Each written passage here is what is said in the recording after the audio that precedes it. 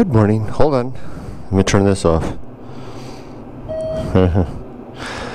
Kind of a confused morning as I uh, I was lingering too long on my Bible and I didn't pay attention to the time. And the time snuck up on me. So uh, then I raced down to the bike and got going. I realized that I forgot my my lunch. So I came back upstairs to pick that up. Now I'm way out of time and I don't have time to get gas, so I'll have to hopefully just make it back with make it to work and not run out of gas and just pick up gas on the way back which is fine. Drop this in here drop the lunch in there and we go. So welcome to freeway bible study. Whoop. My name is kurt. I'm your host. Uh, i'm a non-believer but i like to study the bible. I like to learn uh, about the stories, and uh, well, particularly I want to know know if it's true. You know, There's a lot riding on riding on there, right? You know, if I make that mistake. Although honestly, from just from what I've read so far, if it turned out that it was true, I would certainly believe that God is real, but I wouldn't uh, I wouldn't worship such a God. Doesn't seem like a very uh, a very good guy but nevertheless, uh, we study on. So Genesis, I mean Genesis, Exodus 2, the birth of Moses. So it turns out there's a man of the house of Levi, and he marries a woman of the house of Levi. And they have a babe ostensibly of the House of Levi. You know, I think that's the uh, priestly class, right, of the uh, group. So, kind of sets Moses up for for that particular role. And um, now, of course, Pharaoh. We learned in Exodus one, Pharaoh has uh, said that uh, any boys born of uh, the Israelites will be drowned in the in the River Nile. So, um, this woman, this Levite woman, she has uh, she hides uh, the, the baby for three months. And until she can hide it no longer because she sees that he's a goodly baby. And uh, she hides him for three months until she can can't really conceal that fact anymore. And then she uh, takes the baby makes a, uh, uh, a papyrus there's a makes takes a papyrus basket and fills it up with um, or, no, or covers it with tar and uh, puts it puts Moses puts the baby Moses no he's not called Moses yet. She puts him into the basket although he probably had a name right? I wonder what his original name was. Put him in the basket and uh, sits him in the reeds by the flagstones near where um, some people come to bathe. And then Moses' sister, and I this was where I got a bit of a correction because previously I thought it was the mother's sister, but it wasn't. It was Moses' older sister stands by to watch what happens to the baby. And as she's watching, she sees um, Pharaoh's daughter. Kurt.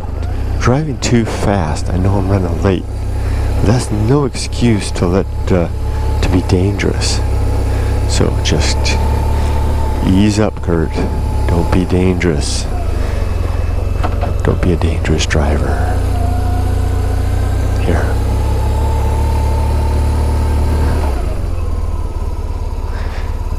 Just a second, please. You know what we'll do? We'll take we'll take the pass instead. That'll get us up over the top, and maybe we'll recover some of this lost time. That way. Let me just gas up real quick.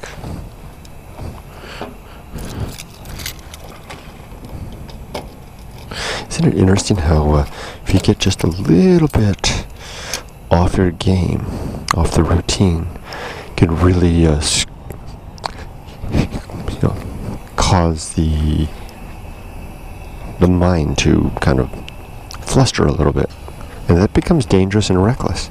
You know, I'm speaking the obvious. You know that. Just a moment.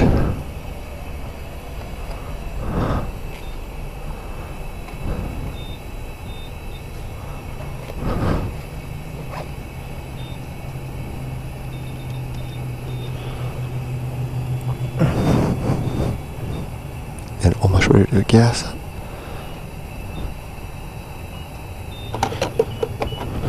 So then, um, she places the baby in the reeds in the in the basket, and it's important to note that there are flagstones. So I'm picturing that to mean like uh, flat stones right at the water's edge.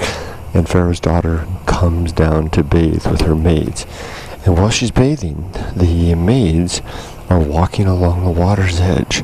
The first thought that came to my mind was, watch out for the crocodiles, right? They're walking along the water's edge, and they discover do they discover it or does the woman discover it first? I think the woman might actually spy it first. The little reed ark, and that's the word that's used, I think, and it's covered. And they spy that and they go and she instructs her maids to go pick it up. And when they open it, they discover baby Moses, or not, yeah, not yet Moses. They discover the baby boy inside. And he's crying and this softens the heart of Pharaoh's daughter, who is who who who is basically you know her like I said her her heart is softened. Now Moses' sister Oh, and she says, "This this is surely one of the children of the Hebrews, a Hebrew, one of the Hebrew babes." And she recognizes the baby boy, and she, of course, probably knows about her father's edict, and uh, so she's going to show a little mercy. And then the sister, Moses' sister, then arrives and says, "Shall I fetch a, a wet nurse to, you know, to take care of the baby?" Which apparently my my biblical scholarship you know, there's because my Bible, a really good one, it has lots of good scholarship, which seems to have been produced by some pretty, um, you know, even-handed uh, scholars. So I'll tell you why in just a second. They said that uh, it was a, the, common for uh, in that era for wet nurses to be employed to take care of baby, and that their term of employment was typically three years, and that they would be responsible to nurse the baby, and that their wages would be uh, whatever they needed to live. So basically, their food. I didn't say a lodging, but maybe like they gave them their food and stuff like that. So this Pharaoh's daughter agrees to the wet nurse idea, and Moses' sister goes and fetches, guess who? Their mother. Her mother and Moses' mother. And who, who of course, is, is uh, has been nursing because it's she's Moses' mother. And what, what serendipity. and uh, she and then and she comes and uh, Pharaoh's daughter. Oh wow! Can you just imagine the joy in her heart? Wow. Pharaoh's daughter, or Pharaoh, yeah, Pharaoh's daughter instructs that she's to take the baby to be, uh, and take care of the baby, and that she'll be provided with living wages, apparently. And that goes on for some years. It doesn't say, well, it doesn't say how long. I guess it says until I guess until he's weaned or some time past that. But eventually, the baby is uh, brought into the house of Pharaoh's daughter, and I don't know. I think it was then or maybe before she was named Moses, or he was named Moses by Pharaoh's daughter, apparently. and I think I think when I was reading Genesis, and particularly when I was studying Exodus, there was some a lot of mention made that uh, the word Moses was the he- Hebrew name, and that that was some evidence of the Hebrew origins. But it turns out that that actually is a pretty common uh, the second part of that, the osis, apparently, is a pretty common, uh, you know, particle name name particle. If I'm using, if I'm making a phrase up right, that basically that it could have meant anything from just boy to a few other things, and the the Bible scholarship in my Bible actually cited several examples of Egypt Egyptian names that had that piece in it, and it showed how how what the meaning was. So it's entirely feasible that that is indeed a uh, an Egyptian name, although it happens to resemble a Hebrew name. Now maybe that's an maybe that's an invention of the authors. Who knows? So anyway, I'm going to take the pass now. So anyway, now uh, let's see if I can recover this time. 6:15. Let me fire this up. Oh, I got a red light. See, Kurt, getting hot with this anxiety about being late for work. Cool it, cool it. Stay calm and collected. Sometimes the sensor won't see my bike. and this guy ran right through it. So I'm trying to cool it, but he's not trying to cool it. He just ran right through it. So, um, Let's see, 701. Let's see how the time changes. The map app says I'm going to arrive at work at 701. My start time is 7 o'clock. I'm going to, and it knows that I'm going to take the 5 and then the 55. But I'm going to, I'm going to pull a fast one here, and we'll take the pass, which is going to cost me a toll, but it'll take me up and up and over the pass. Let's see how much time that'll buy me. I've never done this before. Let's see how many minutes I'll save. Let's see if I can get to work early now without driving too fast. So it still says 701. It's going to start recalculating. So I should be over there in the left lane, on the left side. Should recalculating, recalculating, recalculating. Soon it's going to figure out what I've done. The, the app will and tell me what my new time is. I bet I'll say five minutes. Still thinks I'm going the other way. And now it's recalculating. 708. Yeah, so I only saved uh, uh, seven minutes. What? It says I'll arrive at 708 now? It, wait a minute, how can that be? It says I'm going to take longer? It takes longer? To take the pass, I'm going to have to pay four bucks and arrive seven minutes late to work? That's not a fair deal. That's curious. I wonder why.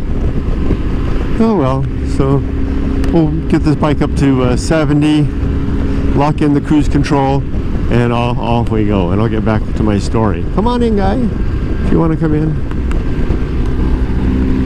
So um so now Moses baby Moses is living with um he's living with Pharaoh's daughter. And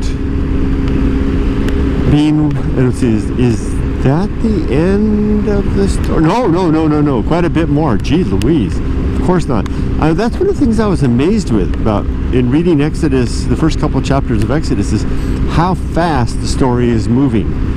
Because now, fast forward, Moses is a grown man now, and he witnesses uh, a one of Pharaoh's uh, overseers of, of the Hebrew slaves.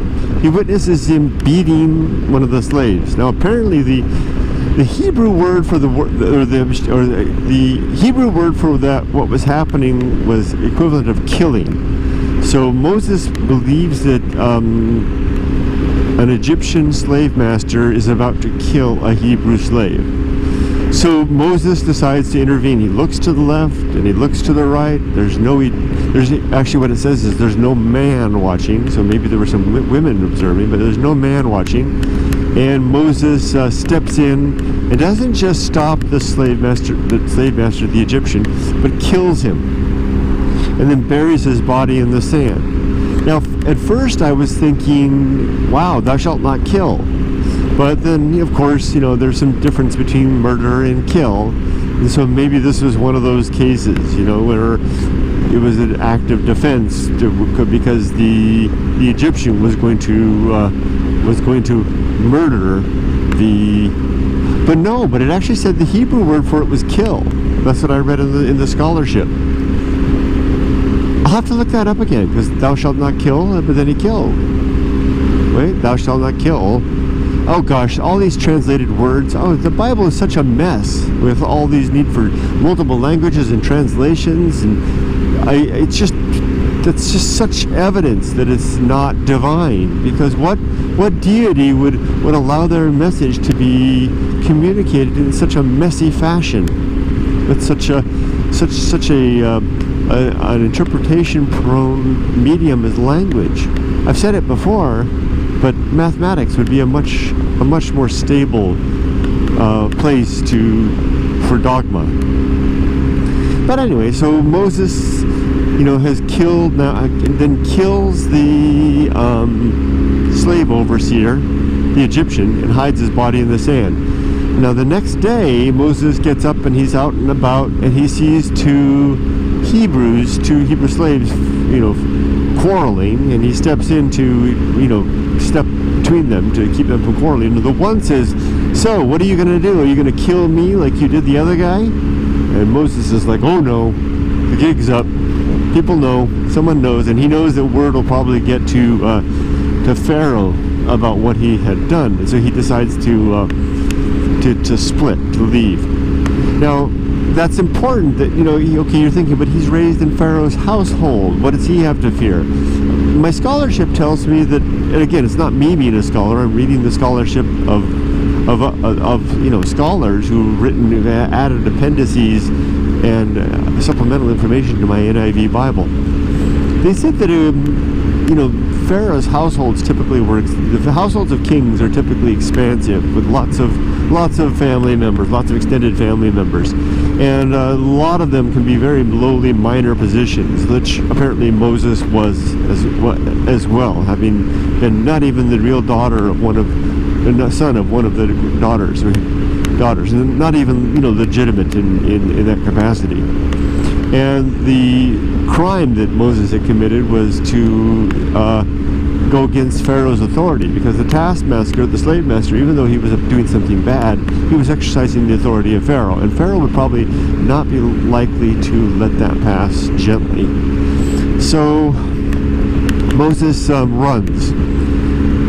And he goes he, doesn't just go, uh, you know, go hide out by the Nile. He goes far. He heads all the way to, um, is it is it Midian? Hope I'm remembering it right. Which is on the northeast coast of Saudi Arabia, the Arabian Peninsula, not Saudi Arabia, because that country wasn't then around then, but of the Arabian Peninsula and this would have been an area with, I believe it said that there were Bedouin.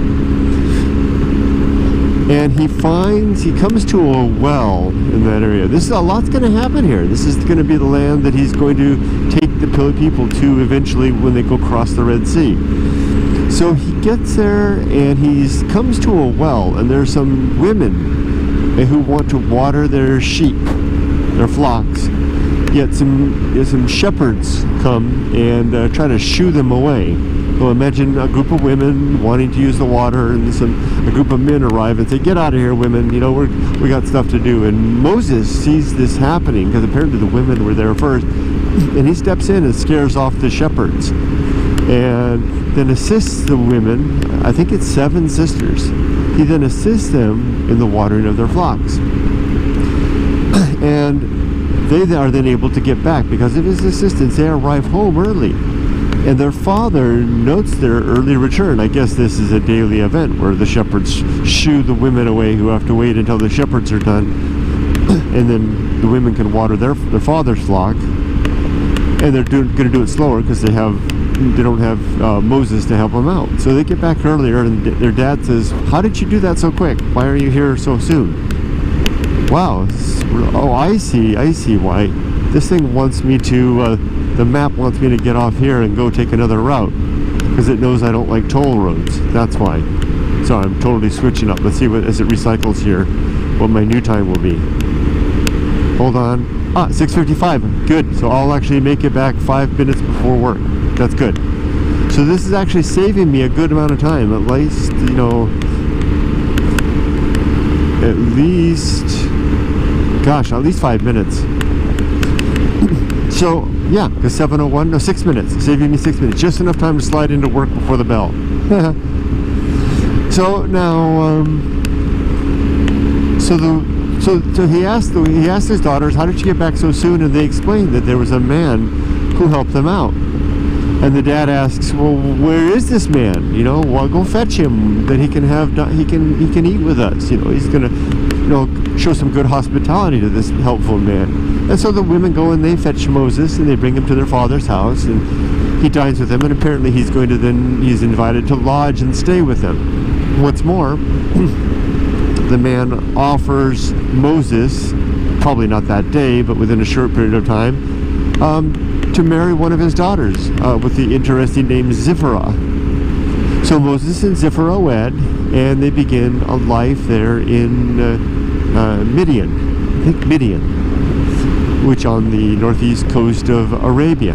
Now, my scholarship in the Bible tells me that the there are ancient inscriptions found in that area that reference a deity with a name very similar to Yahweh. Not quite the same; it's shorter, but it, if you sound it out, it sounds really it sounds very similar.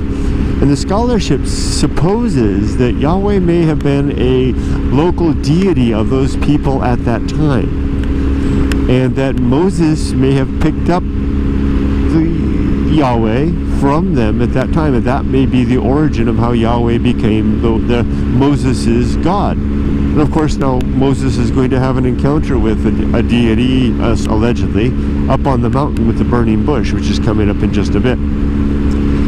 So Moses then lodges with the with the with the man and his new, which of which he is now a family. He's the son-in-law. He's married Zipporah, and they have a a son together with a name I can't remember. And Moses calls him, gives him that name, um, mentioning that he is a foreigner and he has become a foreigner in a foreign land. It's interesting how they often do that in the Bible. You know, they I'm going to name this son Ralph, and I am a foreigner in a foreign land. It's like, all right, geez, with the drama and all. Well, I guess if you in a time before TV and newspapers and magazines or the internet, I guess you got to make your own drama, right, as you can. I think that's it now. So now Moses has is set up with a wife and a family, and that's the end of Genesis 2. Da da da. All done. Oh, and I was kind of surprised because the scholar, the same scholarship in my Bible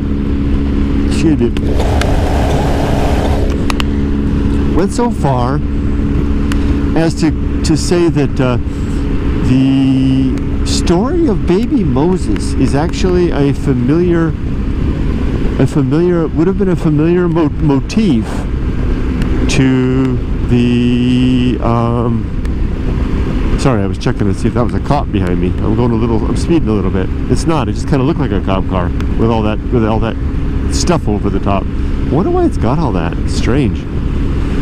Anyway, he said that it um, it would have been a familiar motif, the idea of the baby in the reeds. Apparently, there was another another hero almost a thousand years before in in uh, Mesopotamia who had his start in the exact same way. His mother put him in a reed in a in a papyrus or a reed basket, then he was into the river and was picked up by nobility. And, and the, the, scholarship said that this opening of Genesis 2 would have been immediately recognizable by the ancients as the starting of a great, you know, great dramatic tale. Just like when, and I, I made a Facebook post about this as well, just like when this is, we would recognize the opening of a movie like Star Wars, you know, all the drama, and, and especially the introduction of a character like Luke Skywalker, you know, a young, you know, orphan, you know, you know, living a mediocre life with a great adventure ahead, ahead of him. Heck, Joseph Campbell even wrote a book, The Hero with a Thousand Faces, you know, to exploring this motif, that it would have been easily recognizable by the Mesopotamians. So likewise, this the you know Genesis or, or Exodus 2 would have been uh, recognizable to to them, and it's it's just our unfamiliarity with that ancient motif that causes us to perhaps mistake it as fact. A very interesting uh, observation, and it's very interesting to me that the Bible, the scholarship in the Bible, seems to be so even-handed. They are consistently like that, and it makes me wonder that the actual producers of the Bible that they were comfortable with the this editorial commentary because it seems to be very you know we're going to tell what we know about what a scholarship's position regardless of whether or not it sheds light that the bible stories are real it doesn't speak to any and it really doesn't ever touch on the supernatural stuff except to touch it from a historical perspective or from the narrative eh, the narrative perspective or from the perspective of literature i'm very impressed some of the best scholarship and most even-handed scholarship maybe that I've read, and it's in the Bible. Interesting. Well, anyway, here we are. I've made it over the pass. That's uh, the uh, 91 right there, the world's, the, wor the nation's worst freeway. I'm going to sign off now and uh, get started. Thanks for joining me, everybody. Have a great day. See you tomorrow. Make it a good life. Bye-bye.